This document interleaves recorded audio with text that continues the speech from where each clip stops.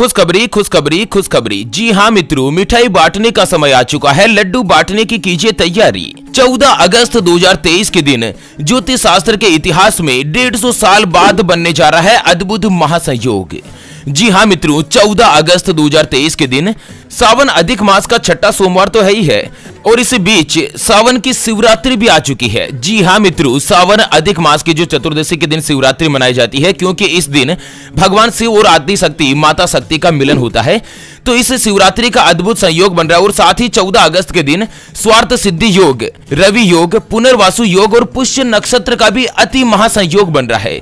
मतलब कि ज्योतिष शास्त्र के इतिहास में डेढ़ साल बाद चार चार महासंयोग बनने के कारण चार राशियाँ ऐसी है जिनकी किस्मत एकदम से चमकने जा रही है। भगवान शिव साक्षात उनकी किस्मत में भाग्य के दरवाजे को खोलकर धन की बारिश करने वाले हैं।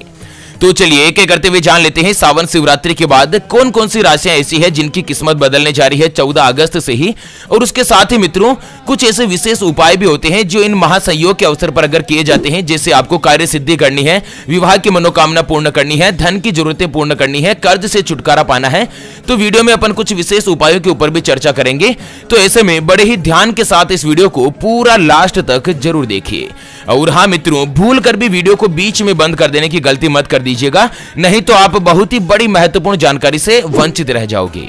तो एक एक करते हुए सभी भाग्यशाली राशियों की अगर अपन बात करें, सबसे पहले तो दोस्तों आप वीडियो को लाइक ज़रूर करें और सावन के पवित्र महीने में वीडियो के नीचे कमेंट बॉक्स में हर हर महादेव लिखकर वीडियो को अपने मित्रों के साथ फेसबुक पर ज़रूर शेयर कर दीजिए ताकि काम की जानकारी का जो अपडेट है ना, वो सभी लोगों को मिल सके। चलिए, सावन शिवरात्रि के बाद सबसे पहली जो भाग्यशाली राशि बन रही है ना मित्रों, वो आती है सिंह राशि, जिनके नाम का पहला अक्षर मा, मी, मू, मे, मो, टा, टी, टू और टे से शुरू होता है, उनकी सिंह राशि होती है। आपको बता दें 14 अगस्त का दिन सिंह राशि वाले लोगों के लिए बहुत ही अच्छा और लक्की साबित होने जा रहा है। भगवान शिव शंकर विशेष रूप से सिंह राशि पर मेहरबान होंगे। ऐसे में 14 अगस्त के बाद से ही आप कोई भी नया काम या नया बिज़नेस आरंभ कर सकते हैं।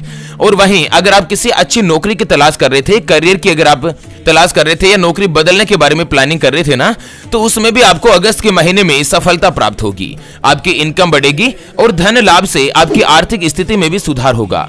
काम धंधा आगे बढ़ेगा और इसी बीच आप कोई भी नई और अच्छी बड़ी डील भी कर सकते हैं, जो कि आगे चलकर आपके लिए बहुत ही अच्छी और महत्वपूर्ण साबित होगी। सिंह राशि वालों को सलाह दी जाती है कि अधिक मास की शिवरात्रि के दिन आप भगवान भोलेनाथ को जल में लाल पुष्प, गुड़, चंदन, कुमकुम और शहद मिलाकर भगवान का अभिषेक कीजिए और इसके बाद शिव महिमा स्रोत का पाठ कीजिए। घर में जो भी आपकी नकारात्मक ऊर्जा है ना, उसका नाश होगा और परिवार में आपको सुख, शांति और समृद्धि मिलेगी। अगर आप कुंवारे हैं, सिंगल है तो दोस्तों, इस बार 2023 में सिंह राशि वालों का विवाह का योग भी निश्चित होगा। भाग्य पूरी तरीके से आपका साथ देने जा रहा है। चलिए जान लेते हैं अगली यानी कि दूसरी जो भाग्यशाली राशि बन रही है उसके बारे में। उससे पहले आपको एक छोटी सी महत्वपूर्ण सी बात बताना चाहूँगा कि ज़िंदगी में आप कई ऐसे लोगों से मिले होंगे जो कि बहुत ही ज़्यादा मेहनत करते हैं।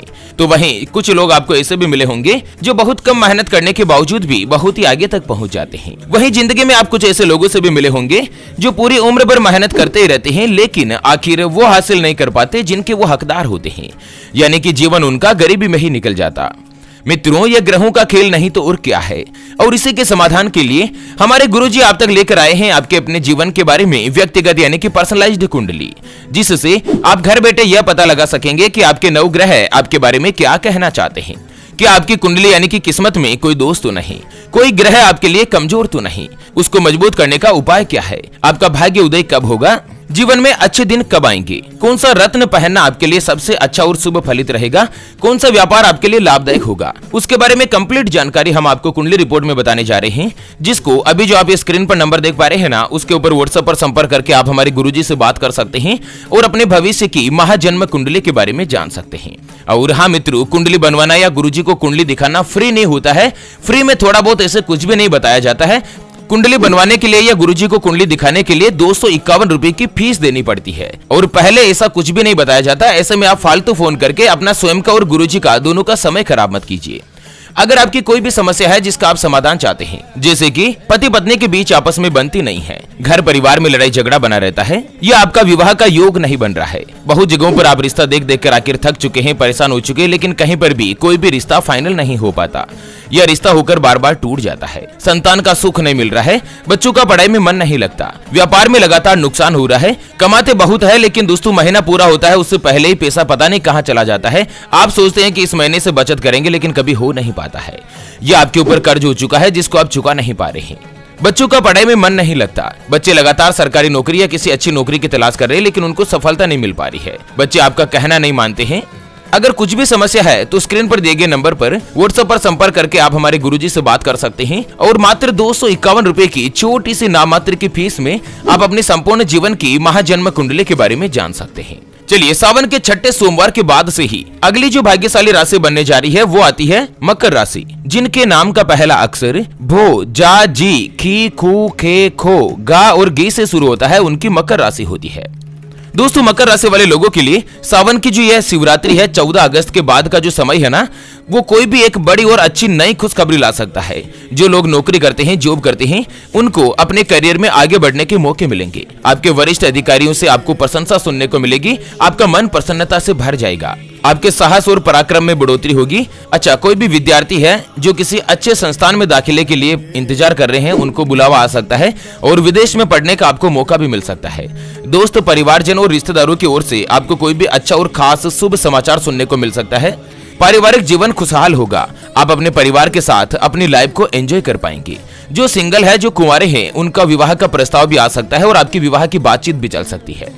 चलिए, जान लेते हैं अगली जो भाग्यशाली राशि बन रही है उसके बारे में और उसके बाद सावन के कुछ उपायों के ऊपर भी अपन चर्चा करते हैं। उससे पहले आपको एक महत्वपूर्ण और छोटी सी इंपॉर्टेंट बात बताना चाहूँगा। कि हिंदू सनातन धर्म में गाय यानी कि गो माता में तैतीस कोटि देवी देवताओं के साथ ही साक्षात माता लक्ष्मी जी का वास माना गया है। चाहे वेद हो, पुराण हो, ज्योतिष शास्त्र हो या फिर भागवत गीता, सभी जगहों पर गौ माता की पूजा करने का विधान है। अक्सर जब भी हम घर से बाहर जाते और देखते हैं ना कि यही गौ माता सड़क पर इधर उधर घूमती रहती है, भटकती रहती है और कई बार किसी बड़े वाहन की चपेट में आकर दुर्घटना का शिकार हो जाती है और मारी जाती है।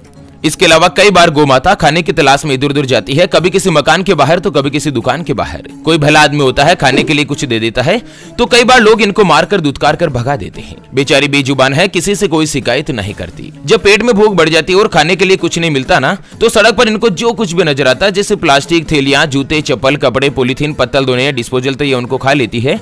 और धीरे धीरे ये सभी गौ माता के पेट में जमा हो जाता है। कुछ ही समय पश्चात गौ माता का पेट खराब होकर बड़ी ही बेरहमी के साथ तड़प तड़प कर मारी जाती है। मित्रों, जब भी मैं दृश्य देखता हूँ ना, मेरा मन बहुत ही ज़्यादा दुखी होने लगता है।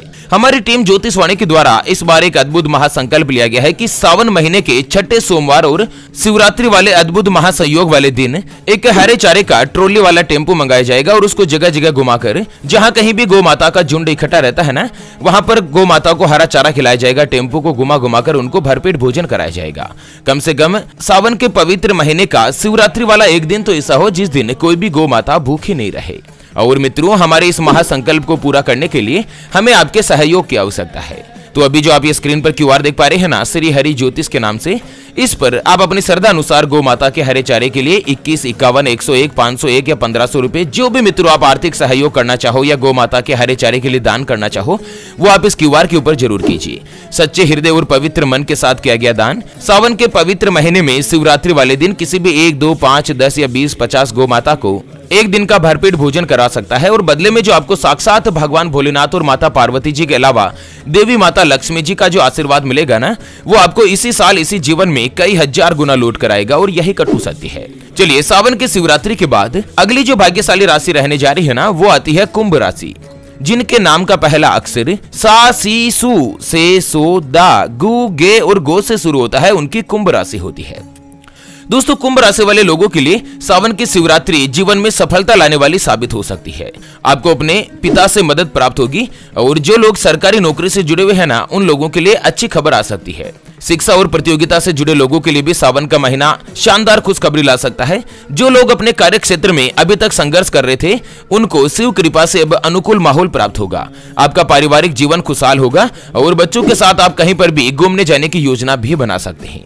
कुंभ राशि वाले 14 अगस्त के दिन किसी भी भोलेनाथ के मंदिर के आसपास या किसी भी सार्वजनिक स्थान पर समी का पौधा लगाएँ और साथ ही समी पत्र से भगवान शिव की पूजा करें। इससे शनि देव अति प्रसन्न होंगे, क्योंकि अभी आपकी राशि में शनि के साढ़े साथी चल रही है। ऐसे में आपको शनि के साढ़े साथी या ढैया के अशुभ प्रभाव से भी राहत प्राप्त होगी। चलिए, अगली और अंतिम जो भाग्यशाली राशि बनती है ना, वो आती है धनु राशि, जिनके नाम का पहला अक्षर ये यो भा भी भू और बे से शुरू होता है, उनकी धनु राशि होती है। दोस्तों 14 अगस्त के बाद से ही भगवान शिव शंकर की कृपा से आपको अच्छा और मन पसंद जीवन साथी मिल सकता है। आपकी लव लाइफ में प्रेम संबंध पहले की तुलना में मज़बूत होंगे और बिज़नेस में आपको बहुत कुछ बड़ा करने का फैसला ले सकते हैं। अपने बिज़नेस को और आगे बढ़ाते हुए आप कुछ दूसरे काम में भी अपना भाग्य आजमा सकते हैं और आपके लिए सफलता के नए योग बन रहे हैं। समाज में लोगों के बीच आपका मान सम्मान बढ़ेगा, परिवार में खुशियाँ आएगी। चलिए अब बात कर लेते हैं सावन की शिवरात्रि के दिन किए जाने वाले कुछ आसान और विशेष उपायों के बारे में। सबसे पहला उपाय अपन बात करते हैं आर्थिक तंगी को दूर करने के लिए। दोस्तों, सावन की शिवरात्रि के अवसर पर किसी भी शिव मंदिर में जाकर जल में गंगा जल और काले तिल डालकर भगवान शिव शंकर का अभिषेक करें और कम से कम 108 बार ओम नमः शिवाय मंत्र का जाप करें। ऐसा करने से आर्थिक तंगी दूर होती है और साथ ही नौकरी और व्यापार से जुड़ी आपकी समस्याएँ भी समाप्त हो जाती है। भगवान भोलेनाथ का विशेष रूप से आशीर्वाद मिलता है। तो अगर आप भी धन की परेशानी से जूझ रहे हैं तो सावन के सोमवार के शिवरात्रि वाले दिन ओम नमः शिवाय के मंत्र का जाप 108 बार ज़रूर करें और जल में काले तिल डालकर भगवान शिवलिंग का अभिषेक करें। उसके अलावा एक और उपाय है आर्थिक स्थिति को मज़बूत करने के लिए कि सावन की शिवरात्रि में आर्थिक स्थिति को मज़बूत करने के लिए आप सुबह सुबह पंचामृत से स्नान कराएँ भगवान शिवलिंग को और पंचामृत में दूध, दही, शक्कर, घी और शहद मिलाकर स्नान करना चाहिए और इसके बाद ओम नमः शिवाय मंत्र का जाप करें और इसके बाद बेलपत्र चढ़ाकर भगवान से आर्थिक समृद्धि के लिए प्रार्थना करनी है। दोस्तों भगवान शिव भोले भंडारी है। और सच्चे मन से अगर कोई भी भक्त उनसे जो भी मनोकामना माँगता है ना तो वो जल्द से जल्द पूर्ण भी होती है। तो चलिए मित्रों, इसी के साथ फ़िलहाल के लिए इस वीडियो को यहीं पर देती है विराम। फिर से होंगे हाजिर एक और नई और काम की जानकारी के साथ। तब तक के लिए ओम नमः शिवाय। जय श्री कृष्णा। जय श्री राधे मित्रों।